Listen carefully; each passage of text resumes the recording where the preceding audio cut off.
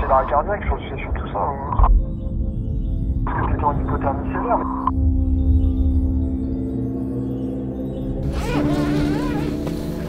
Tu seras jamais gagnant dans l'eau froide. Hein. Et votre record, c'est sur la longueur? Donc vous, ce n'est pas la profondeur. Physiquement. Right under the ice, it's, it's about one degree. It's also much more dealing with the coldness. Hypothermia is a big risk.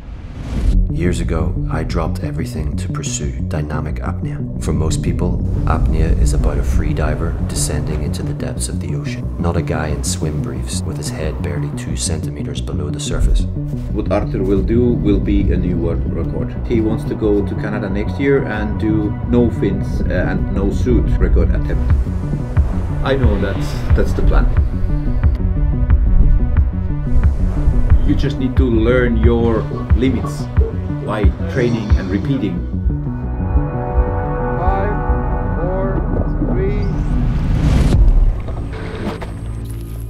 Il est resté 20 minutes dans l'eau glacée. Je retournerai pas gros. Moi je vais flipper là.